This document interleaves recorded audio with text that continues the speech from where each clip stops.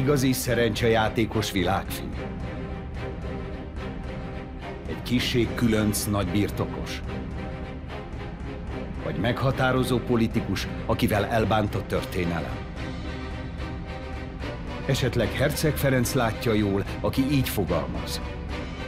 A szereplésével kiszámíthatatlan kárt okozott az országnak, és oly mérhetetlen gyalázatot hozott a nemzetre, amit vér és könnyek óceánja tudna csak lemosni.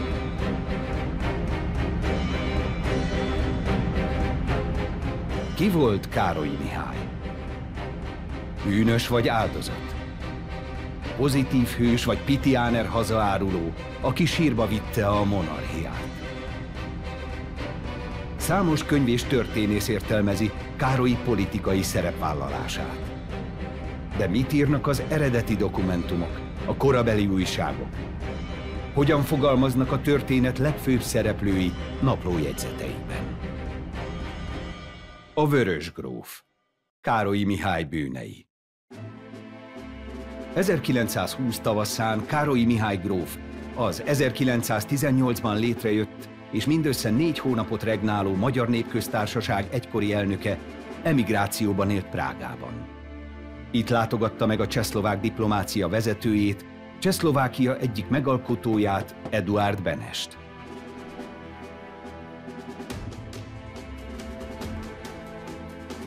A találkozóra elkísérte őt egykori minisztere, Jászi Oszkár is.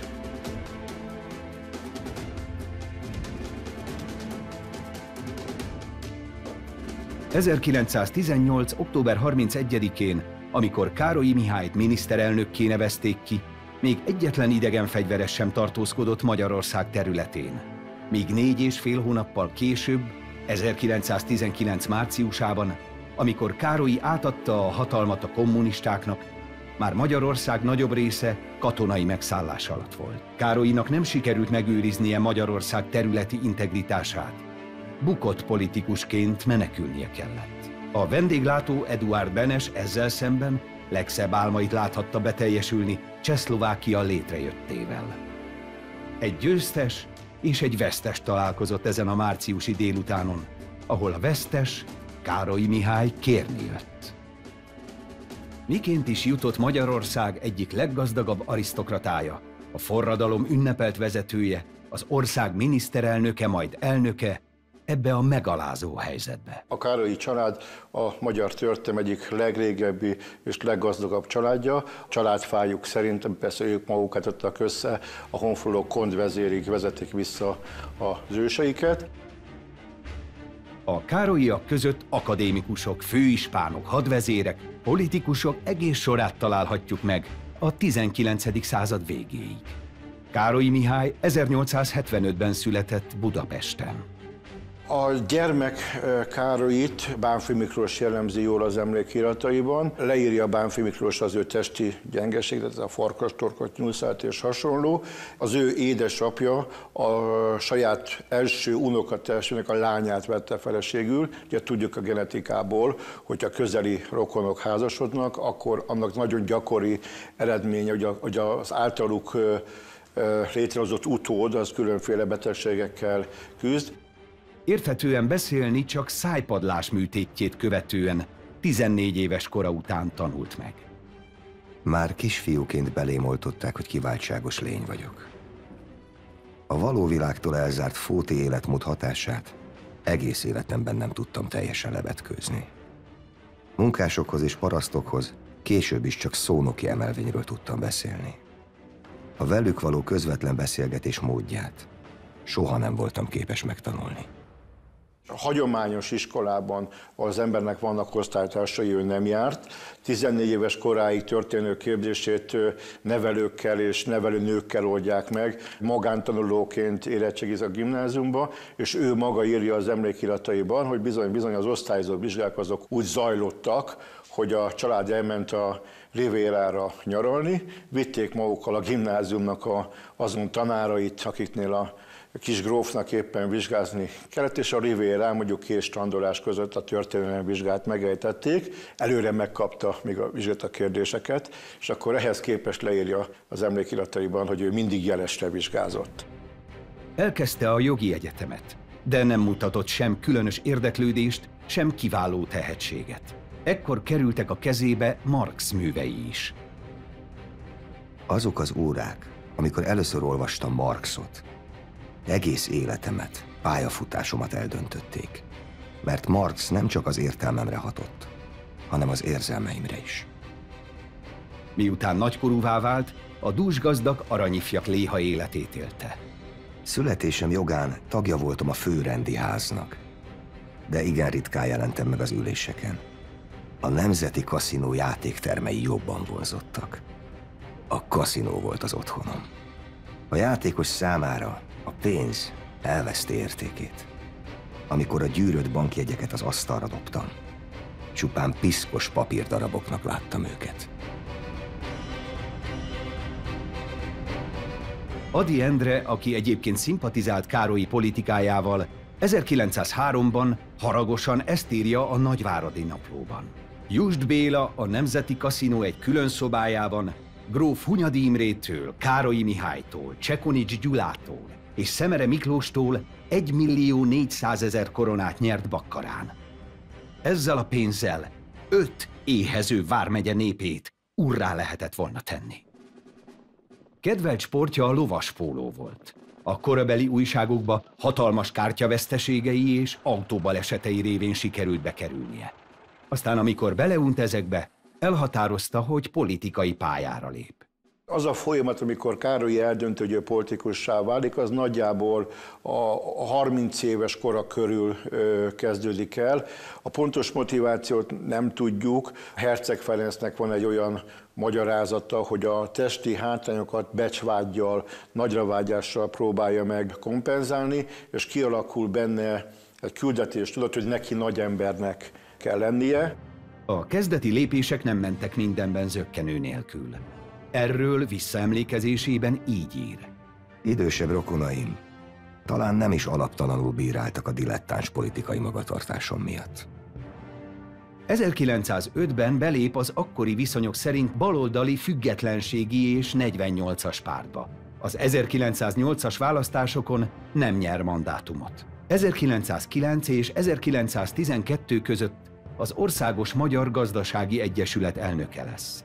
A szárnyait bontogató politikus alkalomattán megfordult az Andrási házban is. Itt ismerkedett meg a fiatal Andrási Katinkával. Andrási Katinka egy nagyon meghatározó egyéniség volt, néha mondhatnánk Károlyi rossz szellemének is, pedig hát ez a családi történet szempontjából nem kellett volna, hogy így legyen. Édesapja korai halála után Katinka felneveléséről nagybátyja, ifjabb Andrási Gyula, Duci bácsi gondoskodott, aki akkor egyik meghatározó politikusa volt. Katinkát körbevették a házi tanítók, angol, francia és német nevelőnők. A szigorú és következetes nevelési szabályok azonban egyre kevésbé tetszettek a fiatal lánynak, az örök lázadónak.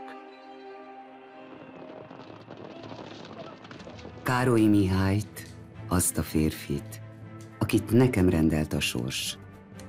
Margit rakparti házunk kapujában láttam meg először. Alig, hanem a lóversenyről jött. Egy buldogot vezetett pórázon. Én talán 12 éves lehettem. Évek múltán a politikai karrierjét építő Károlyi látogatásai egyre sűrűbbek lettek. Sokszor az Andrásiak Tiszadobi kastélyában kereste fel Duci bácsit. A politizáláson kívül azért jutott ideje arra is, hogy elvigye néha Katinkát csónakázni. Mihályt családom kisé könöcnek gondolta. Az egyik nap az újságok arról adtak hírt, hogy gépkocsijával balesetet szenvedett és életét vesztette. Amikor olvastam a hírt, azt mondtam anyámnak, milyen kár. Ha nem pusztul el, ő hozzámentem volna feleségül. Károly 1910-ben párton kívüli függetlenségi programmal került be a parlamentbe. Majd 1912-ben a Justféle függetlenségi párthoz csatlakozik, aminek rövidesen elnöke lesz. Felszólalásaiban egyre többször kerül éles konfliktusba Tisza Istvánnal. A szokásos parlamenti összecsapás megtörténik az ellenzék és Tisza között, és aznap este Tisza István bemegy a Nemzeti Kaszinóba. Károlyi nem fogadja el Tisza köszönését. Ez abban a korszakban politikus társak között egy rendkívül komoly sértésnek számított, és ezt Tisza rögtön le is reagálta, és párbajra hívtak Károlyit, és erre a párbajra még január 3-án sor is került. 1913-ban elsősorban Tisza személye miatt volt érdekes ez az ominózus párba is, tehát alapvetően az volt egy hírérték, illetve az volt ez a 15 perces hírnémnek a története, hogy maga a magyar királyi miniszterelnök vív párbajt. Az, hogy később ez a párbaj még inkább fontos lett, és egy ikonikus eseményévé válik majd a késő dualista Magyarország történetének, ez egyértelműen viszont 1918 ősze miatt van itt. Fél nehéz lovassági karddal vívtak meg az urak. Tisza egy ilyen védekező stratégiát választ a párbaj közben, még Károlyi gyakorlatilag dühtől vezérelve támadásokat hajt végre Tisza ellen. Párbaj rendkívül csúfos eredménnyel zárul, ami azt jelenti, hogy Károly Mihály 18 tompa sérülés szenved, és három komolyabb vérző sérülés szenved a homlokán és a könyökén. Tisza leiskolázza Károlyi Mihályt. A párbaj végeztével a felek között kibékülés nem történt. Így alig ha csodálkozhatunk, ha Tisza István véleménye a gróf politikai tevékenységéről nem volt túl hízelgő. Károlyi Mihály nem hazaáruló. Károlyi Mihály igen hazafiasan gondolkodó magyar ember. De az ország valódi érdekeinek fölismerésének és a helyes szolgálására való ismereteknek annyira hiányában van, hogy bocsánatot kérek, a tudatlanságnak, színvakságnak ez a foka közrendet sértő. Ennyire nem ismerni a valódi közgazdasági helyzetet, tudatlanságból ennyire károsítani az országot, még akkor sem szabad, ha pártvezér valaki. Az 1913. novemberében elhangzott Tisza beszéd rávilágít, hogy már ekkor felmerül többekben Károlyival szemben a hazaárulás vágyja, amit akár a Benessel történt tárgyalások és még számos más esemény kapcsán majd annyian és annyiszor fognak ismételni a következő évtizedekben. 1914. június 28-án Szarajevóban szerb nacionalisták meggyilkolták az osztrák-magyar monarchia trónörökösét Ferenc Ferdinándot és feleségét Zsófia hercegnét. Kitört az első világháború. Alapvetően 1914 jó állapotban találja az országot, hiszen a dualista időszak mintegy 50 éve után azt lehet mondani, hogy az egész történelmünknek egyik legprosperálóbb legjobb időszakát élte át az ország 1867 után. Az a lelkesedés, ami Európát jellemezte a háborúval kapcsolatban, az Magyarországon is jelentkezett. És maga Károly sem volt pacifista 1914-ben, sőt, tulajdonképpen csak a háború utolsó évében mondhatjuk, hogy elmozdult a pacifizmus irányába. Károly még egy évvel az első világháború kitörése után is a Tolnai világlapjának így nyilatkozik. A háború eredményétől azt várjuk, hogy politikailag szabad, független nemzeti állam leszünk. A magyar faj a legértékesebb erőt adta a háborúban, és az egész világnak el kell ismerni a magyarság érdemeit a háború fényes eredményében. Más tények is alátámasztják, hogy a gróf a háború kitörésének hírét nem tekintette tragédiának. 1914-ben a trónörökös meggyilkolásakor Károlyi Kunfi Zsigmonddal együtt Amerikában volt előadó körúton. Hazafelé jövet a világháború kitörése miatt, mint ellenséges ország állampolgárát Franciaországban letartóztatták és internálták. Internálásból elengedésének egyik feltétele az az volt a franciák részéről, hogy ő nem fog harcolni az Antant ellen ebben a háborúban. Tulajdonképpen egy úri becsület szóra így engedték el az internálásból, hogy nem vállal fegyveres katonai szolgálatot. Megmenekülése után Bécsbe érkezve az újságírók előtt már harcias hangot üt meg. Most a politikában csak egy lehet a cél. A veszedelem elhárítása. A győzelem. Mindenki tegye félre politikai programját. Ami a múltban elválasztott, azt a háborúban félre kell tenni. A gróf következő lépése nem volt meglepő. A franciáknak adott szavát megszegve rövidesen jelentkezett fegyveres frontszolgálatra, hiszen ebből további politikai és népszerűségi tőkét tudott magának kovácsolni. Gróf Károlyi Mihály alapvetően mondjuk ki egy operat katona volt inkább. Jól lehet megfordult ő is a hadszintéren, igazából nem vette ezt az egész dolgot túl komolyan. A fronton abban az időben álló harc folyt. Időnket bridgeléssel és a tábornokok szórakoztatásával töltöttük. Később az arcvonalba jelentkeztem, de mi, képviselők, a lövészárokban se voltunk olyan veszélyben, mint a többiek. Mert ahányszor csak támadásra került a sor, összehívták a képviselőházat, és ilyenkor mi automatikusan szabadságot kaptunk. 1914. novemberében az újságok néhány soros hírként számolnak be arról, hogy Károlyi Mihály és a nálánál közel húsz évvel fiatalabb Andrási Katinka a Mátyás templomban házasságot kötött. Ezekben a hónapokban így jellemezte Katinka gyámja Duci bácsi a grófot. Duci bácsi tehetségesnek tartotta Károlyit, de becsvágyónak, sőt, veszedelmesnek is. Szerinte Károlyi mindenre hajlandó volna céljai elérése érdekében. Duci bácsi szerint az ifjú gróf demokratikus felfogása nem lehet őszinte. Ez csak ügyes politikai fogás, amivel népszerűséget akar szerezni.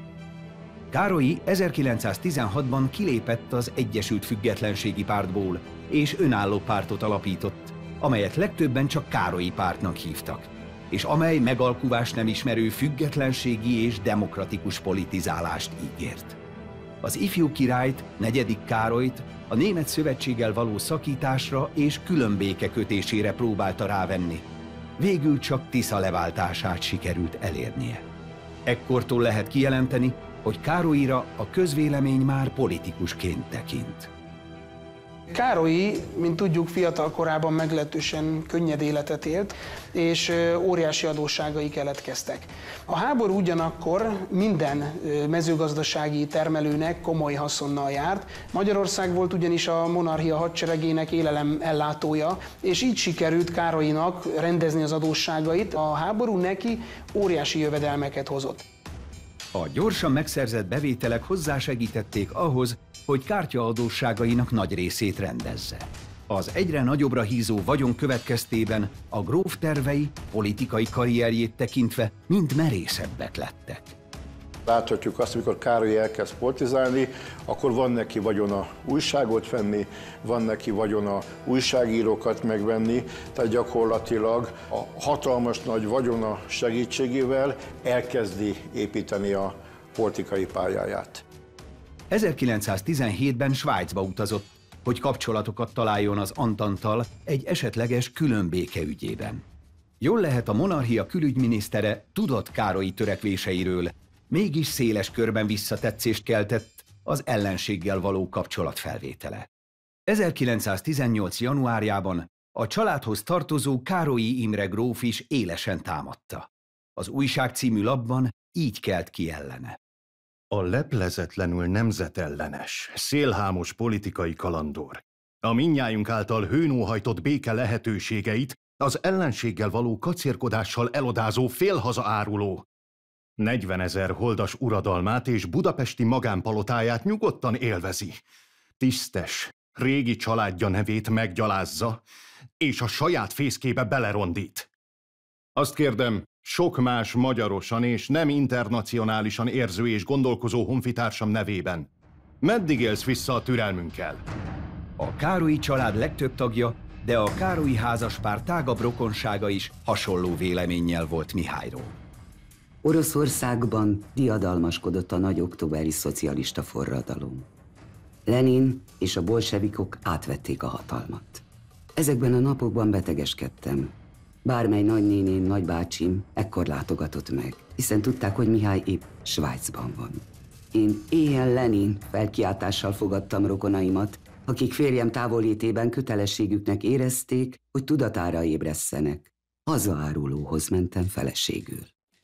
Ám a közvéleményben mind nagyobb a békevágy, aminek a megvalósulását a Károlyi párti sajtónak köszönhetően mind többen Károlyiban látják. 1918 nyarán kritikussá válik a helyzet a frontokon. Szeptemberben megindult az Antant balkáni offenzívája, aminek Bulgária nem tudott ellenállni.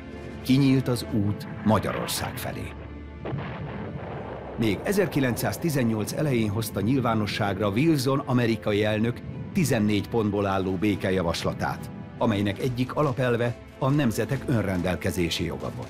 Ugyanakkor Wilson 1918 nyarán már a monarchia szétdarabolását szorgalmazta.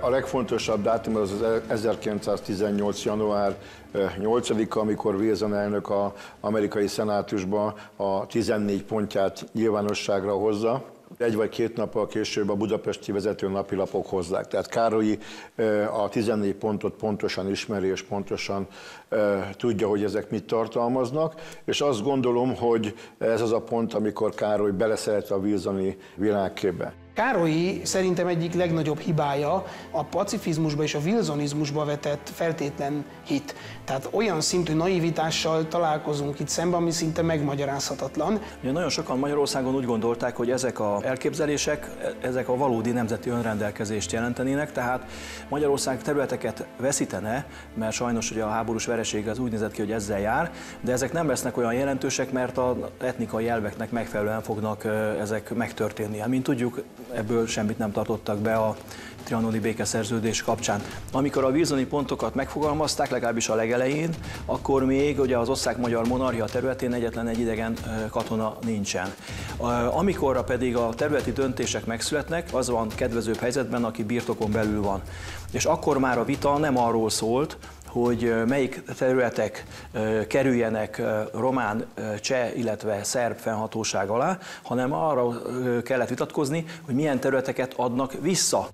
Az Antant hatalmak a monarchia népeinek cserébe a támogatásért önálló állami létet kínáltak, méghozzá a Magyarországból kiszakított területekkel.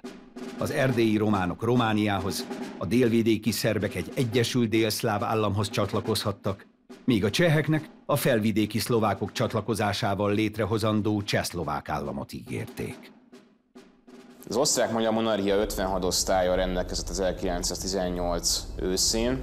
Ez létszámban megközelítően egy 3 millió katonát jelent, azonban ezek döntő része nem a fronton tartózkodott, hanem hátországi szolgálatot látott el, és az arcvonalban 1918 őszén, amikor kibontakozik az utolsó olasz offenzíva, megközelítően egy félmilliós puskalétszámról lehet beszélni, tehát körülbelül ennyi volt az a katona, akik az első vonalban harcoltak, és még amikor az olaszok 1918. október végén támadnak, még akkor is négy napra van szükségük, hogy áttörjék a frontot, és ez is csak azért válik lehetővé október 28-án, mert már nem lehetséges leváltani a fronton harcoló csapatokat, ezért következik be alapvetően az arcolon az összeomlás.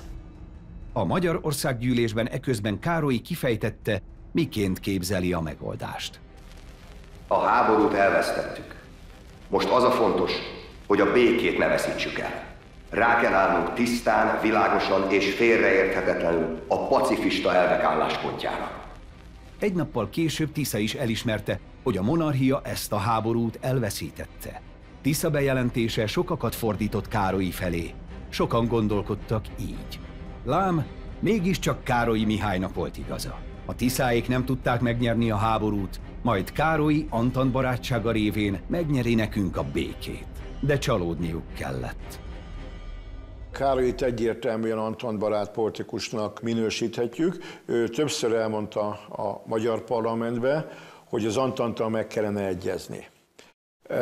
Ez stratégiai szempontból különben nem volt egy rossz javaslat. Az igazi problémát én ott látom, hogy Károly miközben azt hangsúlyozta, hogy neki kiváló Anton kapcsolatai vannak, és az ország fejében 18 tavaszára, nyarára egy olyan képet fölépített, egy olyan képet sugárzott magáról, hogy ő az a magyar politikus, akivel az Antant szóba fog állni, ez a kép nem volt igaz. Mint egy két héttel az első világháborút lezáró fegyverszüneti egyezmény aláírása előtt Budapesten drámai események zajlottak. 1918. október végén az összeomló olasz frontról egyre több katona érkezett a fővárosba. Az utca elégedetlen népe békét akart, választójogot, a leszerelő paraszt katonák földet, sokan pedig bosszút a háborús szenvedésekért. Károlyi neve egyé vált a forradalom ígéretével. Az ország-magyar monarchia jogállam volt, ahol betartották az emberi jogokat, ahol parlamentarizmus működött, és tulajdonképpen most az ellenzék kerül hatalomra, amelyet egyébként előzőleg egyik vezérét a király tesz meg miniszterelnöknek.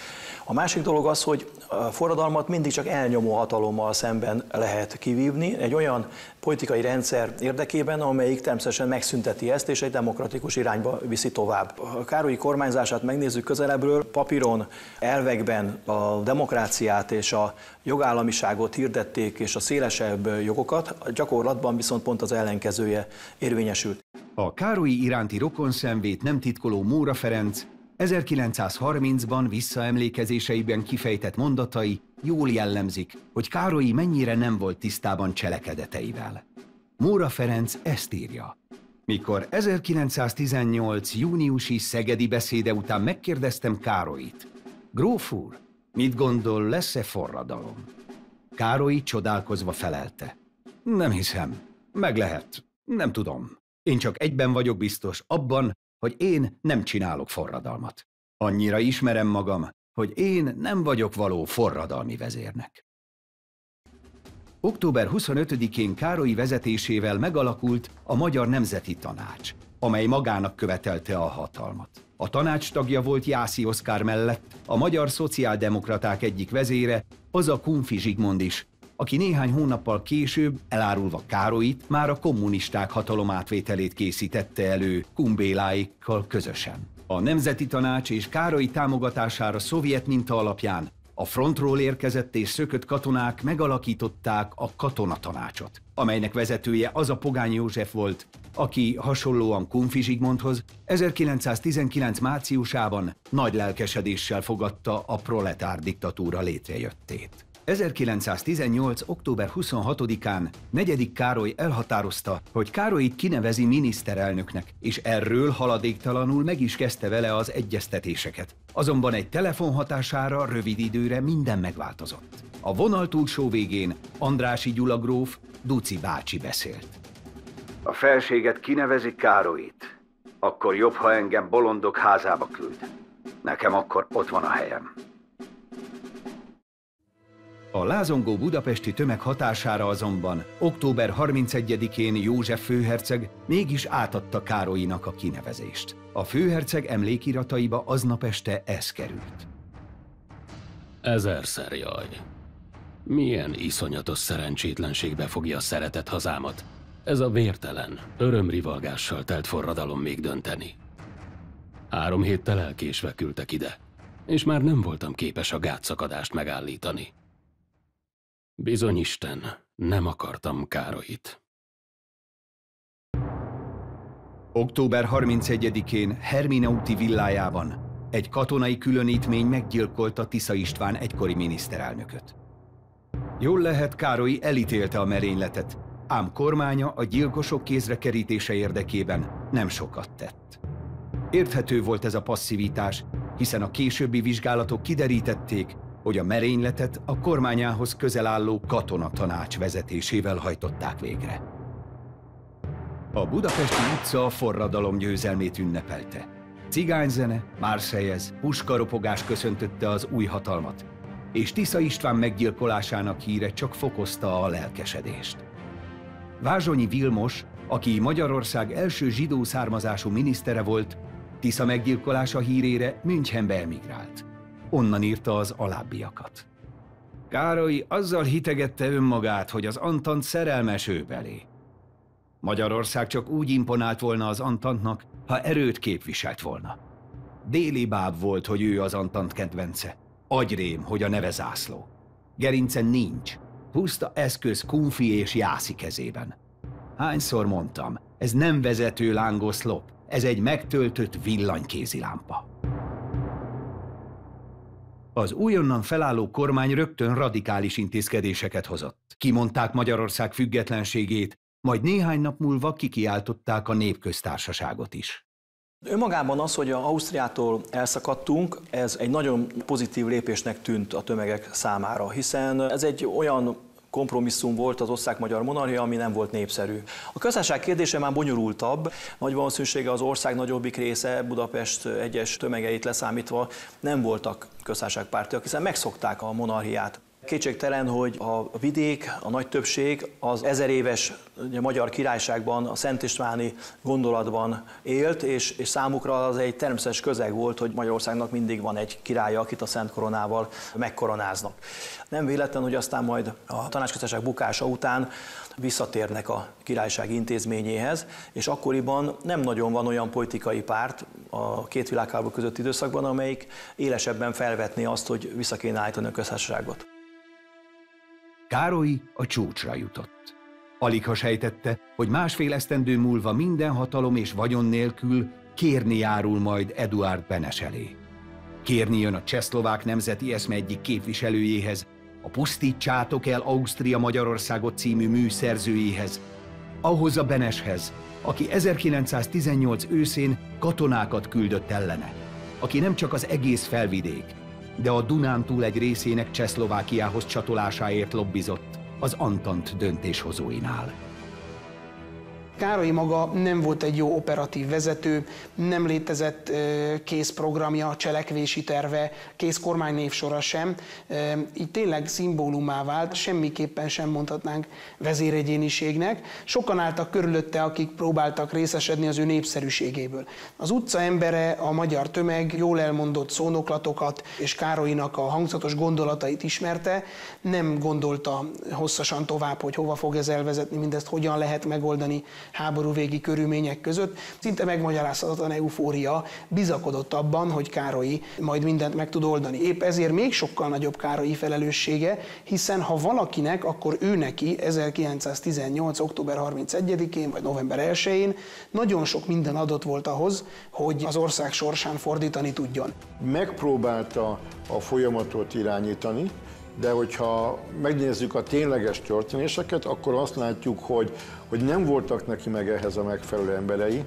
Tehát Jászi Oszkár rosszul kezelte a nemzetiségi kérdést, Lindler Béla rosszul kezelte a hadügyeket, vagy B.D. Schwimmer Róza Svájcban rosszul végezte a diplomáciai tevékenységét. Tehát gyakorlatilag azt mondhatjuk, hogy igen, Károlyi próbálkozott, de, de a sok szereplő közül egy olyan szereplő volt, aki igen gyenge hatást gyakorolt a folyamatokra. Károly nem egészen öt hónapnyi kormányzása alatt semmit sem tudott megvalósítani ígéreteiből. Általános választójogot ígért, de kormányzása idején egyáltalán nem tartottak választásokat. Sajtószabadságot és demokráciát ígért, de uralma diktatúrába torkollott. Földosztást ígért, amiből csak egy propaganda esemény valósult meg, és békét ígért, amiből végül Magyarország megszállása lett. A 20. századi magyar történelemben párját ritkítóan nehéz helyzetbe vette át Károlyi a kormányzást. Úgy szoktam fogalmazni, nálánál sokkal acélosabb jellemek és politikai kaliberek is nehezen viselték volna ezt a terhet. Ebből a szempontból is különös az a tényleg felfokozott eufória, ami Károlyit várta, tehát mondjuk úgy, hogy a, a, a lehetőségei, felkészültség és képességei és a feladatok mérete között kiáltó kontraszt volt és ellentét. A kormány összeállítása arról árulkodik, hogy a Károlyi vezette Nemzeti Tanács nem volt felkészülve a kormányzásra. Az első hadügyminisztert Linder Bélát Károlyi korábban nem ismerte.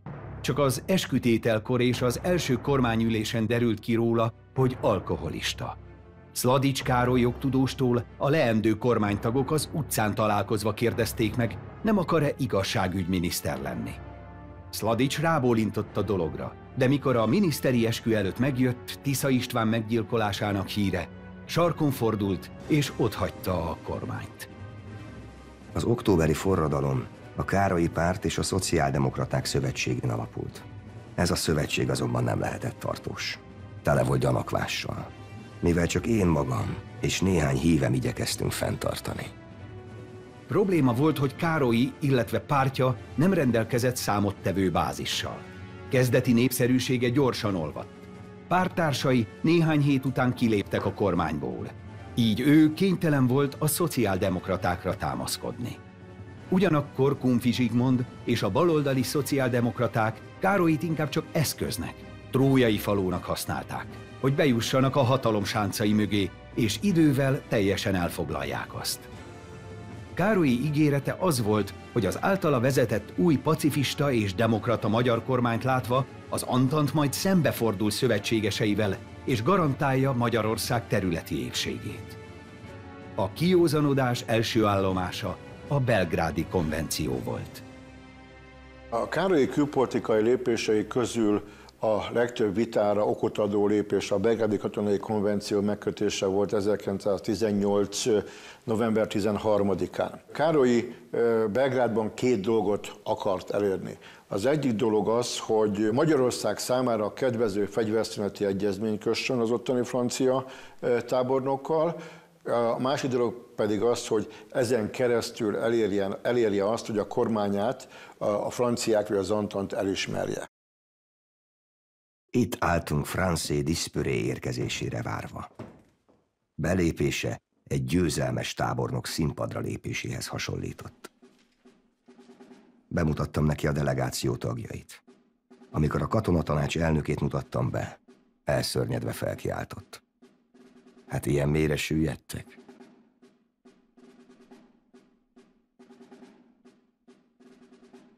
Kétféle értékelés lehetséges.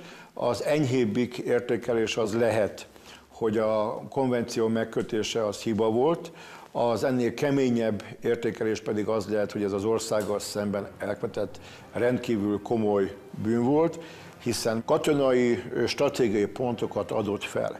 Tehát egy román-magyar fegyveres konfliktusban ott lett volna a Kárpátok gerince, és a Kárpátok gerincén lehetett volna a magyar hadseregnek védelmezni Erdélyt a románokkal szemben. A Begádi konvenció feladta a Kárpátok gerincét, és mélyen önként beengedte a románokat Erdélybe.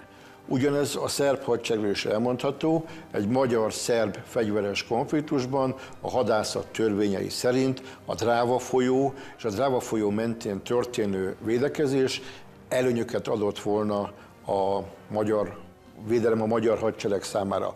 Ehhez képest Károlyi aláírta azt, hogy a déli demarkációs vonal meghúzása révén a Dráván jóval túl léphettek be a szerbek, és olyan magyar városokat adott át Károlyi a szerbeknek, mint Mohács, Pécs és Baja. A belgrádi konvenció világossá tehette mindenki számára, hogy Károlyi külföldi elismertségének híre csak üres propagandafogás volt.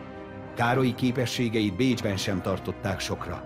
Erről árulkodik a kor leghíresebb pszichiáterének, Sigmund Freudnak ezekben a napokban kelt levélrészlete, melyet magyar barátjának Ferenci Sándornak írt. Freud így értetlenkedik. Vajon a politikai bölcsesség jelének tekinthető-e, hogy a sok gróf közül a legokosabbikat Tisza Istvánt meggyilkolják, a legbutábbikat Károlyi Mihályt pedig megteszik miniszterelnöknek, Semmilyen kormányzati tapasztalattal nem rendelkezett sem ő, sem a legtöbb minisztere.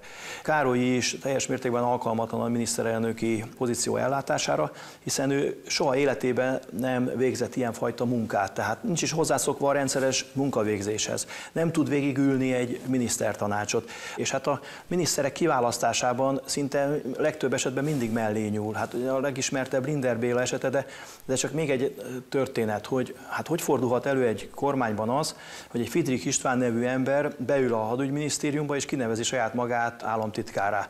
És aztán Linder azt hiszi, hogy Károly nevezte ki őt államtitkárnak, Károly azt hiszi, hogy Linder nevezte ki államtitkárnak, és aztán, amikor ez, ez, ez egy bizonyos idő után kiderül, akkor utána nem, hogy páros lábbal kirúgnák onnan ezt az embert, hanem még ott egy darabig el tevékenykedik, és, és kitapétázza a Budapestet különböző általa kreált rendeletekkel.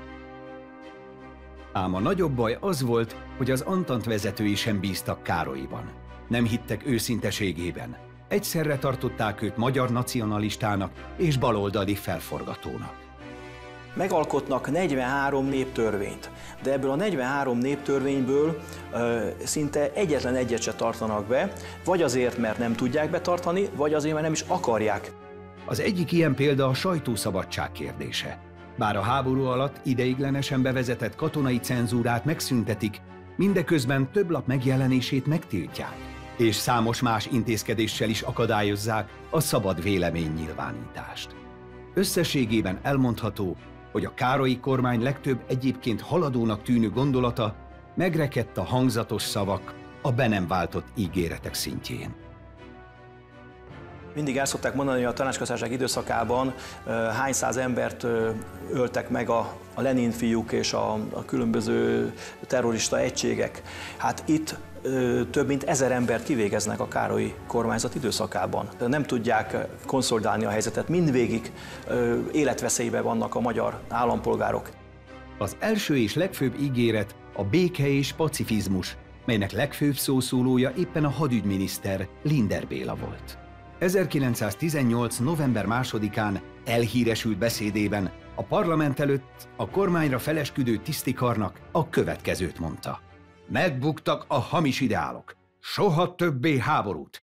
Nem kell hadsereg többé. Soha többé katonát nem akarok látni. Linder az első világháborús hős, az alkoholista miniszter, aki leszerelte a hadsereget, később a szerb kormány embereként aktívan tevékenykedett, hogy Pécset elszakítsa Magyarországtól. Majd a két világháború között jugoszláv ügynökként kereste kenyerét. A kormány gondoskodott arról, hogy Linder Bélának ne kelljen katonát látnia. A leszerelés kettős célt szolgált.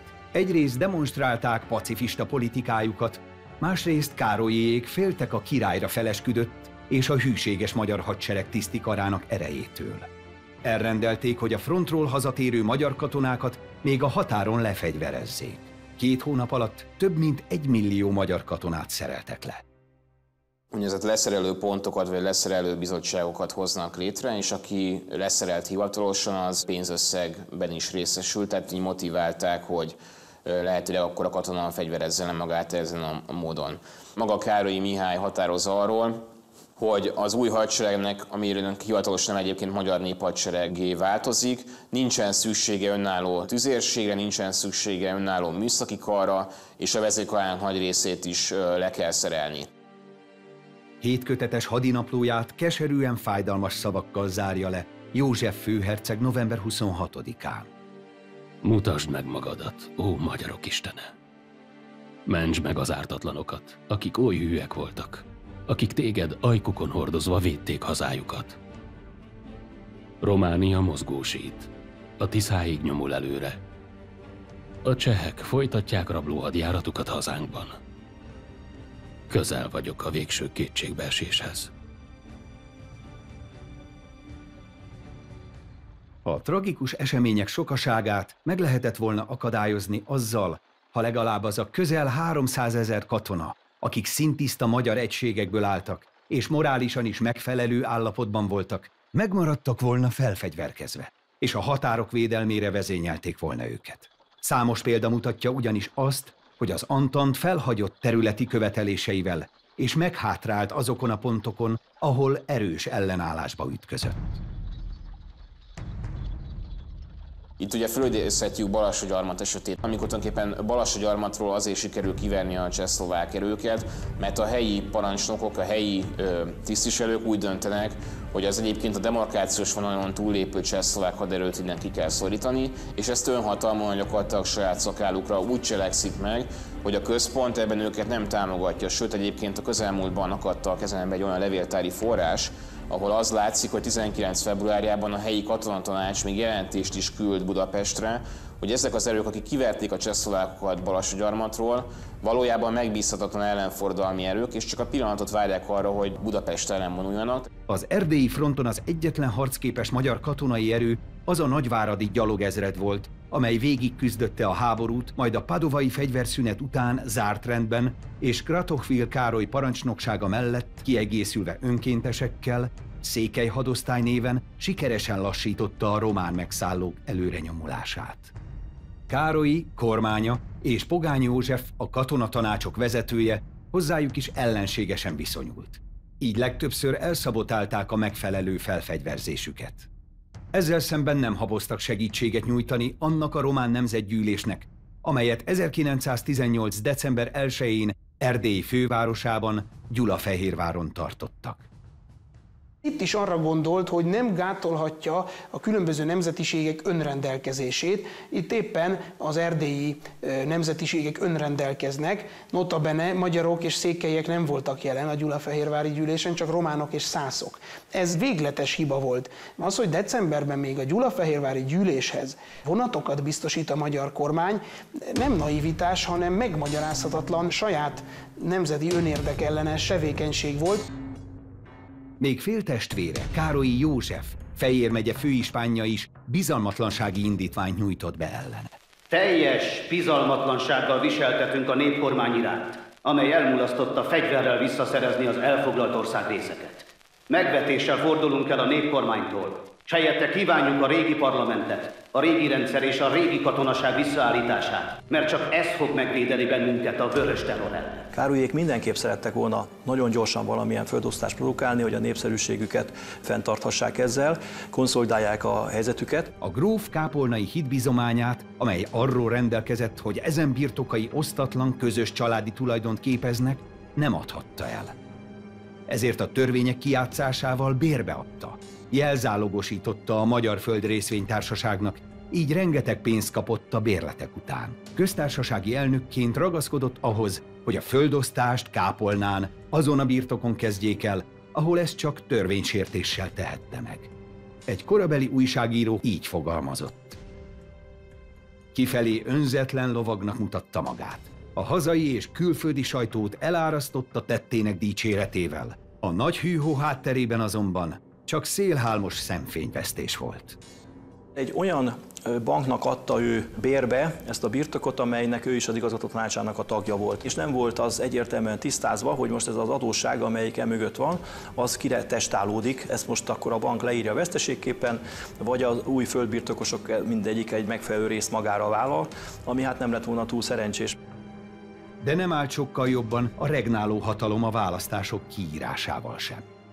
Károlyék nem gondolták komolyan, hogy választásokat fognak tartani, ez az egymás közti vitáikból, megbeszéléseikből egyértelműen kiderült. A kezdeti eufória után, ami volt ugye Budapesten, egyre jobban kiábrándulnak az emberek a Károlyi kormányzatból, a közbiztonság hiánya miatt, a szociális problémák megoldatlansága miatt, és Károlyiék biztosak abban, hogy ha itt választások lesznek, akkor az el fogják veszíteni.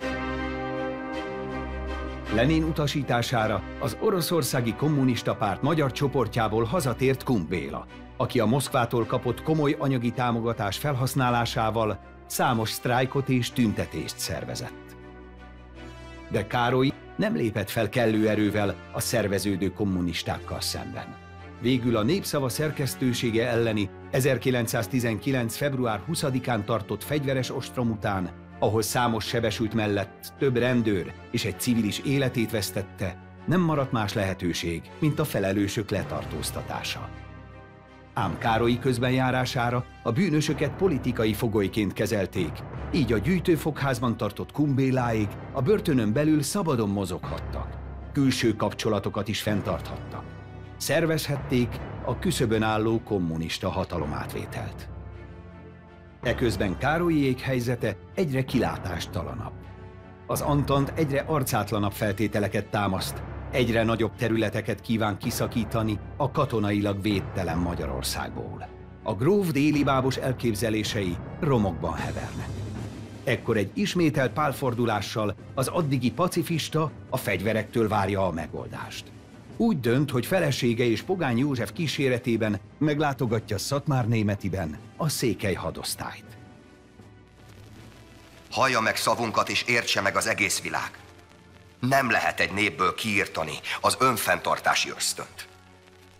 Hogyha a Párizsi Békekonferencia Magyarország földarabolása mellett döntene, akkor mi a végszükség esetében még fegyverrel is felszabadítjuk ezt az országot mint hogy ehhez valamilyen külpolitikai támaszra volt szükség, ezt a Szovjetunióban látta egyedül, hiszen a többi vesztes állam nem jöhetett szóba, a győztes államok, szomszédállamok ellenséges viszonyban voltak, így egy szociáldemokrata kormányt, amit ráadásul tömegbázis is támogat, látott volna az ország élén szívesen Károlyi, és ebbe az irányba tette meg a lépéseket is, hogy egy tisztán szociáldemokrata kormány alakuljon, ami majd fölveszi a kapcsolatot a szovjet vörös hadsereggel, és közös erővel próbálják föltartóztatni az ellenséget. Egy korabeli újságcikk így fogalmaz. Előnyös békét vagy fegyverszünetet csak úgy lehet egy nemzetnek elérni, ha mögötte egy hadsereg áll.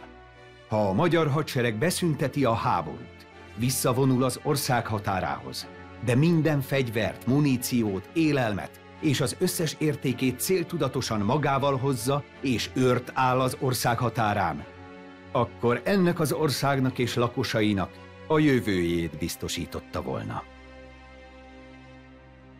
Döntő fordulat következik be 1919. március 20-án. A Miskolci reggeli hírlap így foglalja össze a kommunista hatalom átvétel a tanácsköztársaság kikiáltását. Budapesten Vix ezredes megjelent Károlyi Mihály elnöknél, és átnyújtotta az Antant jegyzékét, amely szerint Arad, Szeged, Nagyvárad, Pécs és Debrecen Magyarország határain kívül esnek. Minisztertanács ült össze, amelyen úgy Károlyi Mihály elnök, mint az összes polgári miniszterek lemondtak. Az események így módon alakulását Károlyi Mihályné egyáltalán nem bánta. Annak ellenére, hogy kunbéláik megbuktattak bennünket, velük szimpatizáltam. Hittem az új tanokban, és az egész nép közös összefogását az imperialista nyugattal szemben lelkesedéssel fogadtam. A megváltást Magyarországnak a vörös hadseregtől és főleg a világ forradalmától vártam azóta meghatározó 70-es évektől kezdve, hogy Károlyi akarata ellenére jelent meg a lemondó nyilatkozata, de, de itt is föltetjük a kérdést, hogy hogy lehetett, játszunk el a gondolata bármelyik mai politikai vezetővel, hogy, hogy megjelenik a lemondó nyilatkozata, és ezek után ő, ő sértetten visszavonul a hatalomtól. Hát ha már ez így történt, akkor csúnya dolog volt. Ma már azért láthatjuk, például Berinkei Dénes visszaemlékezéséből, aki ugye az ominózus lemondatott kormánynak volt a miniszterelnöke, hogy Károly igenis aláírta ezt a lemondó nyilatkozatot, tehát tudott az eseményről, és nem gördített elég komoly akadályt, nem ellenkezett, nem tett meg semmit. Nem csak, hogy nem tett semmit, hanem feleségével együtt kifejezetten szimpatizált is az új hatalommal. A Tolnai Világlapja 1919. novemberében így emlékszik vissza a történtekre. Ki mert volna csak álmában is gondolni arra, ami Károlyi Mihály grófról, a magyar mágnásról kiderült, hogy ő volt mi nálunk a bolsevizmus édesapja. Pedig az volt. Károlyi Mihálynak a hazája elárulásáért kapott pénzből bőven telt volna kosztra. De mint tudjuk, a diktatúra alatt a pénz még nem volt elegendő ahhoz, hogy valaki rendes konyhát tarthasson. Így történt, hogy ezekben a keserves napokban Humbéláig gyakran hívták Károlyi Mihályékat vacsorára. A pompás étkezések után gróf Károlyi Mihályné nem egy órát töltött Kumbéláné szalonjában, aki erről így számolt be barátainak. Tegnap nálam volt Károlyi Mihályné, és azt mondta nekem, hogy Mihály nagyon sajnálja, hogy Bélával nem ismerkedett meg mindjárt 1918. októberében. Ha megismerkedhettek volna, Mihály már akkor magáévá tehette volna a bolsevizmus eszméit, és az ország öt hónappal hamarabb áttérhetett volna a proletár diktatúrára, természetesen Bélával a külügyi népbiztosság élén. Ezen események komoly hatással voltak Károly Mihálynéra, aki költői hangulatba kerülve így emlékezett vissza. A villánk ablaka alatt elterülő lankás gyepről néztük szürkületkor a Duna kanyargó ezüst csíkját, amely átcsillant a párán, és hallgattuk a Vörösváros tompa morajlását. Kumbéláikkal a kommunista diktatúra jutott hatalomra. Bevezették a vörös terrort. Felfegyverezték a hadsereget. Így a felvidéken sikeresen visszaszorították a cseh csapatokat, ám a bolsevik diktatúra miatt az Antant eltökéltsége nőtt, hogy akár fegyverrel is leveri a magyar tanácsköztársaságot. A diktatúra a moszkvai pártvezetéstől várta a segítséget, mivel Lenintől nem érkezett pozitív válasz, így Kumbéláik lemondtak. Augusztusban a román katonaság megszállta Budapestet. A Nemzeti Múzeum kifosztását az utolsó pillanatban az amerikai Harry Hill Bentholz tábornok hősies fellépése akadályozta meg. A kilátástalan helyzet megoldását végül 1919 őszén a nemzeti hadsereg élén Budapestre bevonuló Horti Miklós jelenti, akinek a románok kivonulását és a fehér terror megfékezését követően sikerült konszolidálnia a politikai viszonyokat, és egy jobboldali parlamentáris rendszert kiépítenie.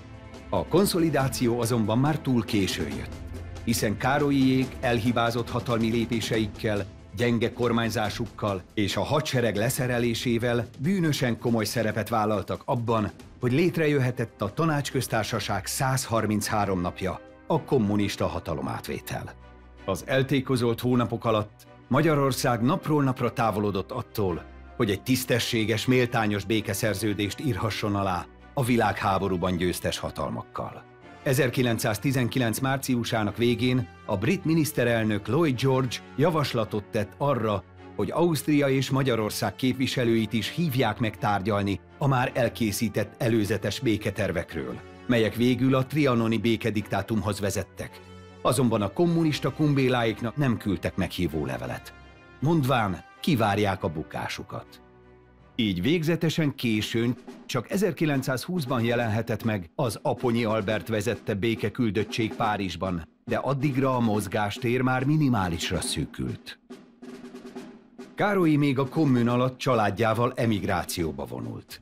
Prága adott nekik menedéket. Eredetileg Károlyi magánemberként képzelte az emigrációját. Amerikába akar menni, ahol békés polgári viszonyok között felnevel a gyerekeit. De azt már biztosan látjuk, hogy visszatér a küldetés tudata, azt mondja, hogy a, a horti rendszer az Magyarország számára kedvezőtlen, keresi azt, hogy kinek a segítségével térhetne vissza Magyarországra.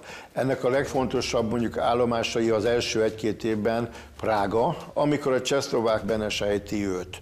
Akkor következik Belgrád, ahol Pécs átjátszási kísérletével a szerbeket akarja felhasználni a visszatérésre, és innentől kezdve mindig oda utazik, ahonnan valamilyen segítséget remél, és ennek egy nagyon fontos szálává válik a bolsevik Moszkvába való viszony.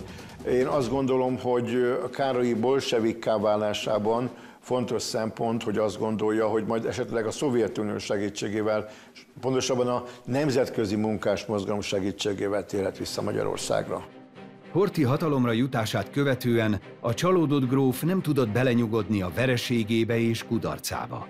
Magyarország ellenségeinél igyekezett pártfogást keresni. Így került sor 1920 márciusában a találkozóra a csehszlovák külügyminiszterrel, Eduard Benessel. Azt kéri tőle, hogy segítsen megbuktatni Horti rendszerét és a magyar kormányt, akár katonai erővel is. Azt a kormányzatot, amely mégiscsak egy választás, méghozzá az addigi magyar történelem legdemokratikusabb választása eredményeként gyakorolta a hatalmat. Károly feltette Benesnek a kérdést.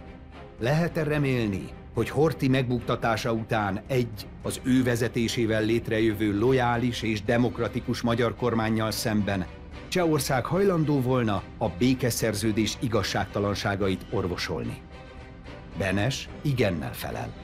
Az a Benes, aki négy héttel korábban az igazsággal mit sem törődve Magyarországot nevezte meg a világháború kirobbantásának legfőbb felelőseként. A magyar népet minden szövetséges egyöntetően a világháború legfőbb segítőjének, ha ugyan nem az első számú felelősének tartja.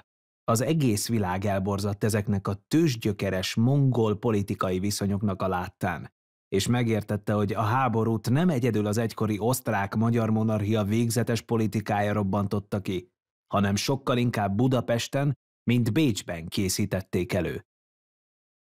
Károlyiék elhiszik, hogy Benes nem akar igazságtalan békét, ahogy ez Jászi emlékiratából kitűnik. Benes ezúttal is kitűnő benyomást tett ránk. Tiszta, világos eszű ember. Finom és megértő lélek. Nobilis és előkelő. Az a benyomás, hogy Károlyival és velem szemben meleg érzelmekkel van és megbízik bennünk. Benes narratíváját rövidesen Károlyi Mihályné is átveszi. Katinka 1924-es Csikágóban tartott előadásáról a Reuters ügynökség ezeket az intelmeket idézi. Az a szikra, amely a világháborút lángra lobbantotta, Magyarországból pattant ki. Magyarország ma is vulkán, mely minden pillanatban kitörhet. Prága és Olaszország után Károlyi Belgrádba ment, ahol Linder Bélával együtt próbálta elérni, hogy legalább a szerbek által megszállt Pécset ne kapja vissza Horti Magyarországa. Károlyi az emigrációban eltöltött évei alatt írt leveleiből és visszaemlékezéseiből világosan kiderül, hogy minden fórumon, minden eszközzel gáncsolta a Trianonban megcsonkított ország talpraállását. Ismeretségeit, befolyását próbálta felhasználni arra, hogy Magyarország külföldről ne kaphasson támogatást, kölcsönöket, segélyeket. Ám ezen az úton még egykori szövetségesei közül is kevesen követték. A Károlyi féle Magyar Nemzeti Tanács elnöke, Hok János, így utasítja el. Egyetlen magyar embernek sem szabad ma a kormány helyzetét kifelé megnehezíteni. Beszélnünk kell mindenképpen arról, hogy Károlyi elhitte magáról, hogy tényleg egy messiásként fog itt Magyarországon föllépni hogy annak ismeretében, hogy Trianonban mi fog történni, illetve mi történt végül is a bolsevik tanácsköztársaság időszaka alatt. Még ezen dolgok ismeretében sem határolódik el 18-as politikai hibáitól, bűneitől, amelyekre úgy tekint egyébként, mint az egyetlen lehetséges és jó megoldási javaslatokra. Az árulás szó egyértelműen használható viszont majd a trianoni békeszerzős békediktátum után 1920 nyarától, amikor már megvan az eredménye annak hivatalos dokumentum formájában, hogy mi lett a következménye ennek a politikának 1918 őszén. És itt azt kell elmondanunk tehát, hogy ha valaki látja, hogy ez az, az egész folyamat, ami 18 őszén elindul, Trianonhoz fog vezetni, és ebben a helyzetben, amikor már tudja, hogy Trianonhoz fog ez a folyamat vezetni, nem határolódik el a korábbi politikájától, nem ismeri el, hogy hibázott, akkor joggal mondjuk azt, hogy ez egyértelműen árulásról kell és lehet beszélni. Károlyi emigráció beli törekvéseiben én azt látom, hogy Károlyi szívből és őszintén gyűlölte a horti rendszert. És ő meg volt arról győződve, hogyha ő hazatér Magyarországra, akkor ő megdönti a horti uralmát, és a hortinál egy sokkal jobb rendszert fog a magyar nemzet számára hozni. Károly mindig is ilyen igazi demokratának képzelte magát, és azt gondolta, hogy ő, tehát egy ilyen fajta idealisztikus Károlyi gondolatot látok, vagy az ő gondolatvilágában, hogy ő az, aki itt majd Magyarország a demokráciát meg fogja csinálni, és ehhez mindenfajta támogatást, akár csehszlovák, akár jugoszláv, akár a kommunistáké hajlandó volt elfogadni. Én azt gondolom, hogyha egy politikus a saját hazája ellenében dolgozik, akkor az, az, az nem lehet más minősítés, mint hazaáruló. 1919-ben és 1920-ban a mélységes csalódásnak ezekben a keserves éveiben sokat tűnöttem kudarcunk okain és az elkövetett hibákon. Bírálóim minduntalan gyengeségeimet vetik szememre. Elismerem a vád jogosságát. Vádolom magam, hogy gyenge voltam a magyar uralkodó osztályokkal szemben.